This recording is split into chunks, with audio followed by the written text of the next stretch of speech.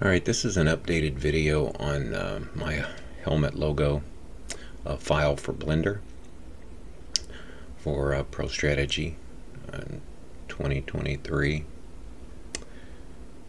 and uh, I wanted to update it and uh, do a little better job this time um, because I've kind of tinkered around with the file and uh, streamlined it a bit so I thought I'd do a little bit better job of showing how it's supposed to work. So I should have the link posted somewhere to download it. Um, but when you uh, go to it, it'll bring you here. Just download it.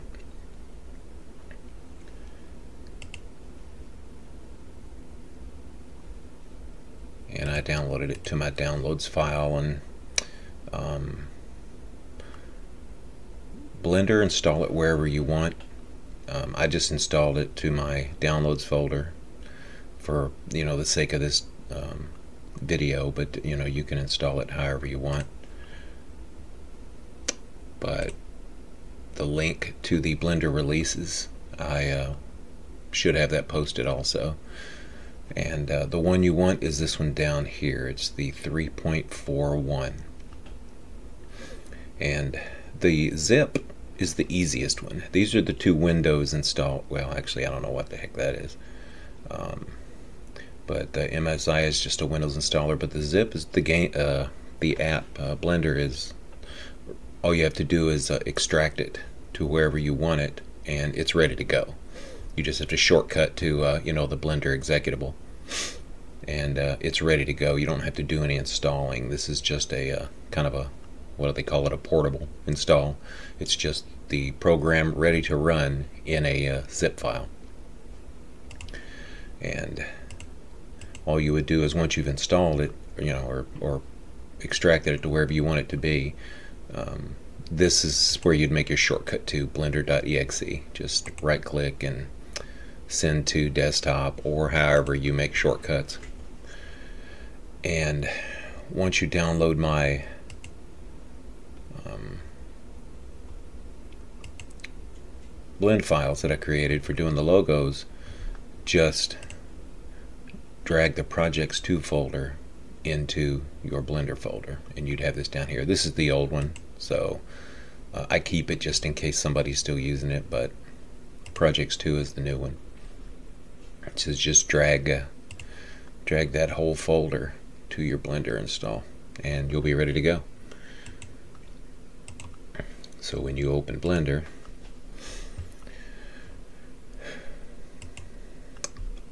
previously I had it where when you open Blender, my file loaded automatically. I really wish I hadn't done that. I don't know. If, I don't think this new one does that. But if it does, my apologies. But if, if it does, it's there. If it doesn't, then all you have to do is go to File, um, Open, and then, you know, go to your uh, install. It's just like any other program. You just navigate, you know, here's your shortcuts, just wherever you, like I downloaded it to downloads, and then there it is. And then projects 2, click that, open, and it's ready to go. Now one version I had did have little squares up here that I was using for alignment, and um, I removed them because they were showing up in the game as little artifacts, and it uh, it looked a little crazy, so I went ahead and removed them. So if you've already created some, look at the uh, render and see if that little gray square is in the top left and the bottom right. If it is, you'll have to cut it out. My apologies. Um, if you don't want to re-download the file, and let me let me create one real quick and show you how to get rid of it. Mesh, plane rotate 90 on the X. And basically this is what it looked like. You would see a little gray square up here, and then you'd see a little gray square down here. Um, in the version I uploaded, I have everything locked, but what you can do is go over to this thing right here, and if don't mess with the camera, but if you click on each one of these, then go down to this orange square, click on that, and then click on uh, visibility. Where it says selectable, just it should if it's unchecked, that means it's locked and you can't select it. Just click it and then it's now unlocked and that way you'd be able to select it. So if you go to each one of these and whichever ones are unchecked, you check them where it says selectable, you're turning them back on so that you could actually select them. And as you click on them and hit selectable, you'll notice they show up with a little line around them. So what you can do is once you have them all um, selectable, and there should,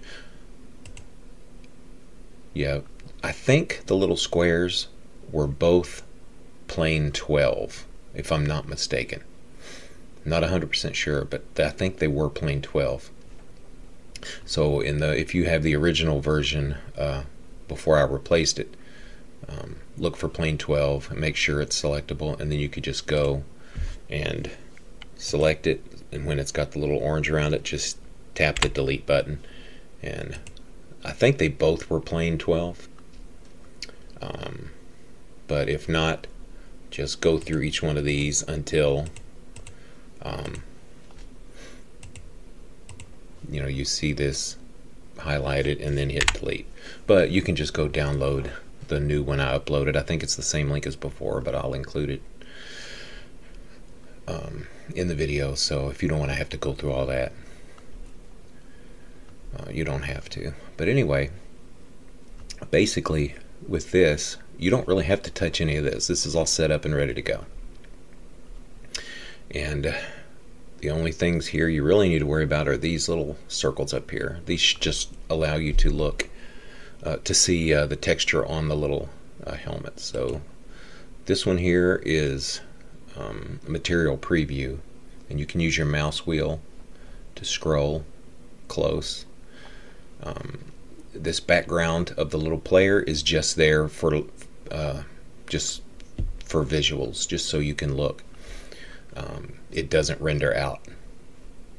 As if you go down here, the UVA white jersey is what it's called. If you click on it, you'll see the visibility is is uh, unchecked, and uh, there's also a setting where it doesn't render, but don't really remember where that's at. But it's it should already be set.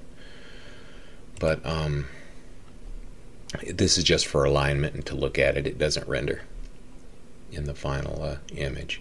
And this one right here is the render setting and it'll get rid of the black part. The black part's just there because it's not showing you the transparency. But if you click this one and wait a second, you'll see it. This is the rendered view and now you'll see your logo on the side of the helmet and the black's gone because you're seeing the transparency. And that's pretty much how it's going to render out, just minus the background guy. And then you'd take your render and, you know, lay that over top of your team's uniforms as a layer in Paint.NET or PaintShop Pro or Photoshop, whatever you use. And that's it. So you don't, like I said, you don't have to touch any of this stuff. This is just uh, for you visually. As far as um, doing each one, you would go to whatever paint program you use, go into that, that folder you, you downloaded, and this is the template. And um, you would just put a um, your logo over top of this just whatever program you use create a layer. So now you have the top layer is you know nothing and then the bottom layer is this. And um, find a logo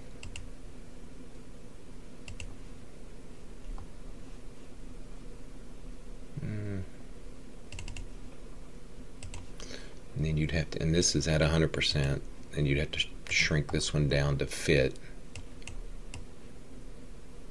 Great thing about PaintShop Pro is it lets you just scroll the wheel mouse. Wheel mouse the mouse wheel down to uh, look at different sizes. So that looks pretty good. The top ones are the um, this these two up here are what would be put on that little 3D helmet that I had to rotate for those odd angles and these two down here are the ones that go on the helmets that are directly from the left and right And there's a slight difference in the size, so you might want to make, depending on the logo or what you want to do, you might want to make the bottom a little bit smaller uh, just to fit inside the outline. But this top one up here, you can make it a little bit bigger. So let's see, that's 6%, so image resize. And I'm doing it by percent, so 6.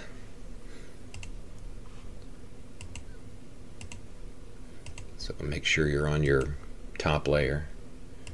And just paste. And you can paste as a layer in uh, Paint Shop Pro, but I'm since I already have a layer there, I'm pasting as a new selection. And just line it up somewhere.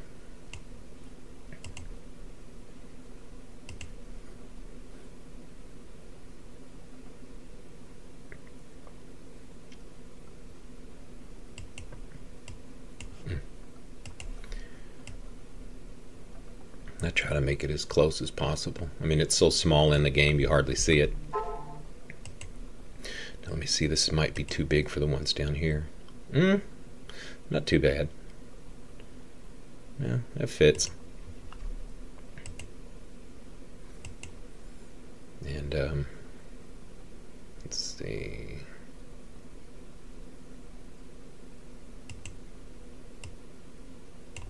There. So the bottom layer you would turn off and then you would file, save as, and then this helmet texture PNG is what's going to show up in uh, Blender. So you would just click and then save. And it says replace it, yes. So minimize that. And right now, if you, even though it's still showing the tiger, it's uh, if you hit render right here up at the top you hit render render image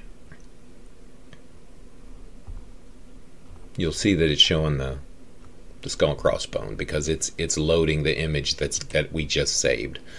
That just means the uh, interface hasn't updated yet. And let me see there is a way to do it. I think if you look at these top tabs here go to UV editing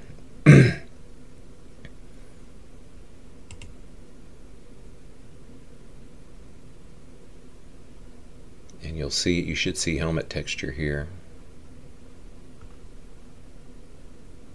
Go to image and reload and then you'll see the, the skull and crossbone pop up and it should reload it for all of them. And this is you don't have to do this part if you don't want to the whole reload. Um, that's just if you want to look at it in here. Um, and if you grab these, put your mouse right over the center of these two windows and left click and hold, you'll see those two arrows. You can drag either way. So if you want to, if you don't want to sit here and scroll to make this go left and right, so you can change it to the rendered view. But if you like, to, if you want to look at it that way, you can. But again, the only thing you really had to do in this is hit um, render, and render image. So hit render image, and we'll sit here and wait for it to finish.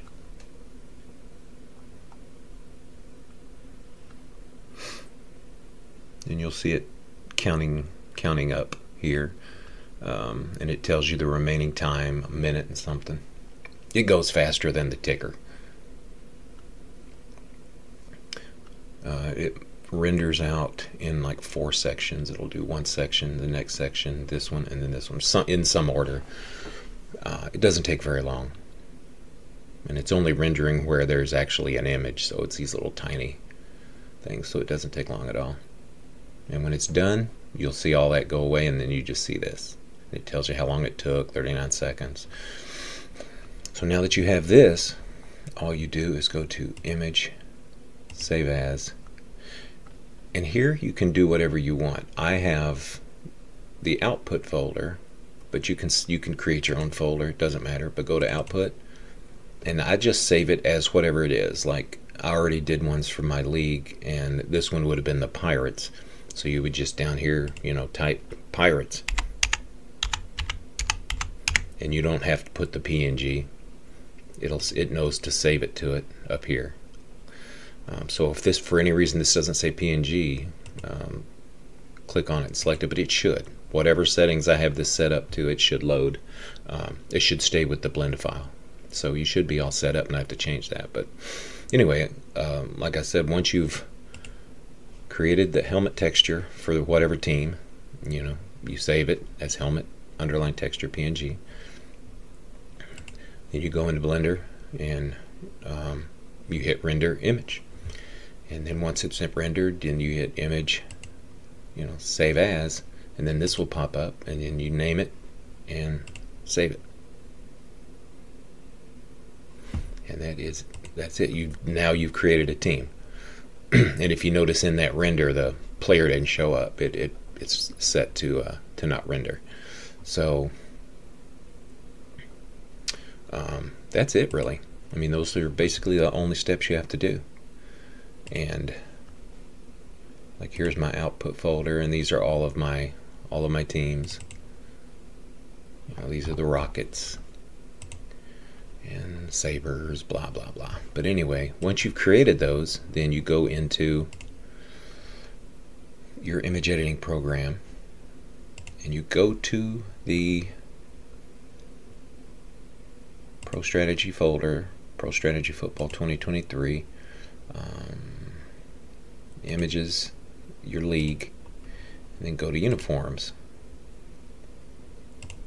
And then I just did pirates, so that's who I'm looking for. And there should be six.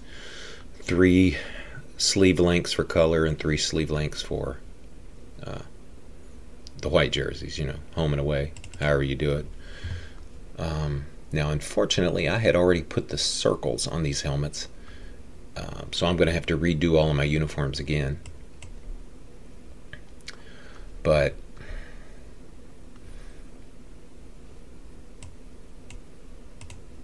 that's for another day.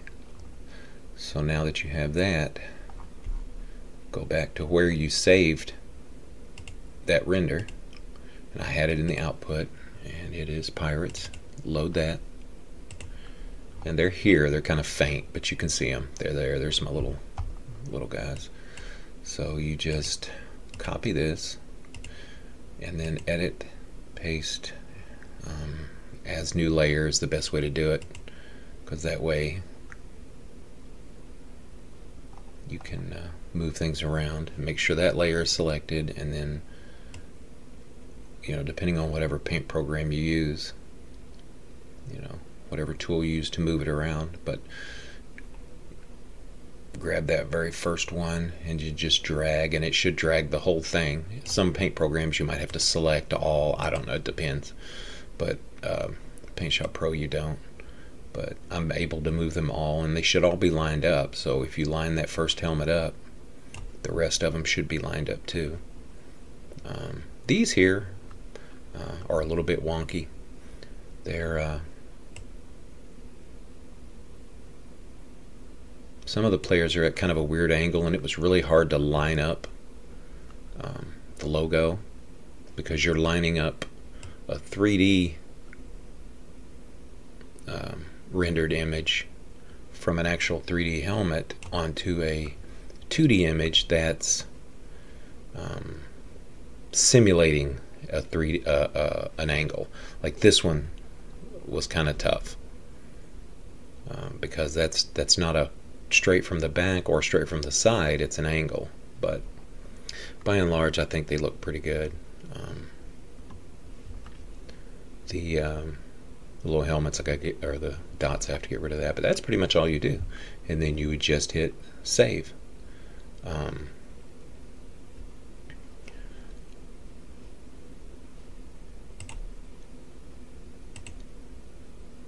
and that's ready for the game. And then this is the no sleeves. So then you would have to go back to um, you know your uniforms folder. I would probably open them all up at once um, instead of keep going back and forth. So you know open the that one and open this one. And this is I think that's the short sleeve and then the one I just opened before is long sleeve. Yeah that's long sleeve. And then you would do the same thing and then you'd open up the, you know make sure you open all the visitor uniforms. The white jerseys. There's three of them so there's six per team. You know open all three of them up.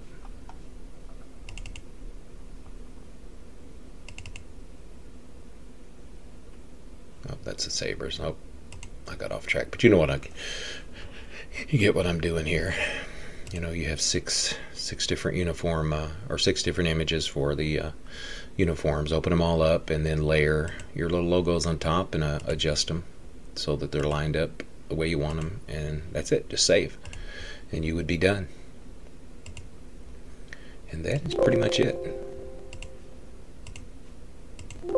I am working on um, the render to try to make them a little more, uh, to stand out a little bit more. Um, it might have to do with contrast. You might could adjust the contrast in whatever program you're using, image program. But overall, they still look good. I, I like it better than not having anything. But uh, I think I covered it all there. Uh, if there's any questions, let me know.